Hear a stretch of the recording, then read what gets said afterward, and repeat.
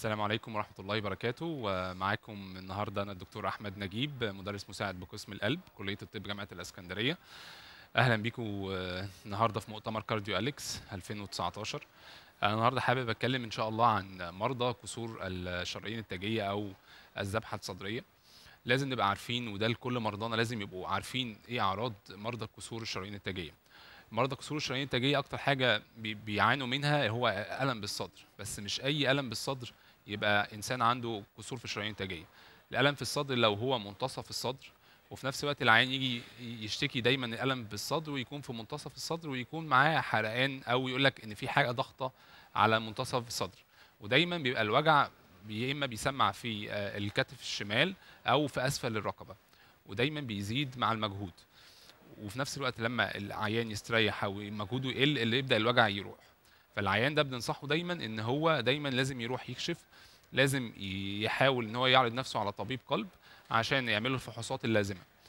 في نفس الوقت أي عيان تاني بيشتكي من وجع تاني مختلف زي مثلا يقول لك وجع مثلا في آه في آه مثلا في في شمال الصدر أو على أو على اليمين.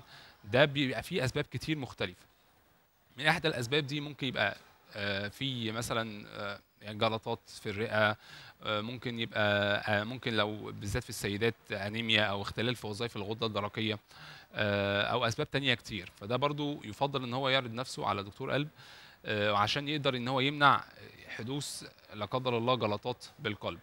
من الحاجات المهمة لو الإنسان زي ما قلنا الإنسان اللي هو عنده كسور في الشرايين التاجية لازم يعرض نفسه في أسرع وقت ممكن على دكتور قلب هيعمل له رسم قلب هيعمل له أشعة قلب اللي هي الإيكو على عضلة القلب.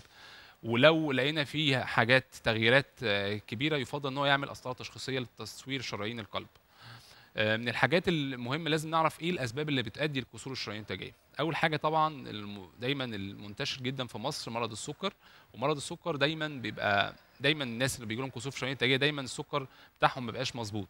فيفضل إن هم يظبطوا السكر بتاعهم من خلال الأدوية ومن خلال ال- الغذاء بتاعهم. تاني حاجة طبعا مرض الضغط. يفضل إن ال- الضغط يبقى أقل من 140 90 في كل العيانين. طبعا أهم حاجة وأكتر حاجات المنتشرة عندنا في مصر التدخين لازم المدخنين يفهموا إن التدخين دلوقتي بقى من أهم الحاجات اللي بتعمل جلطات في القلب وبالذات في السن الصغير دلوقتي. وتاني حاجة ورابع حاجة ال- الناس اللي هم عندهم آه، آه، مثلا مرض الكلى أو أو خلل في وظائف الكلى. وبرضه في نفس الوقت العادات السيئة بتاعتنا اللي هي عدم المشي أو عدم آه، استغلال الرياضة في حياتنا اليومية. كل ده بيؤدي إن عيان يكون عنده كسور في الشرايين التاجية وبالذات كمان مع الوقت أو مع تقدم العمر. فننصحهم دايما إن هم دايما الناس دي تظبط الأكل بتاعها بالذات الكوليسترول بتاعها يبقى متظبط يظبط يحاول على الأقل يمشي على الأقل يعني ربع نص ساعة في اليوم خمس أيام في الأسبوع.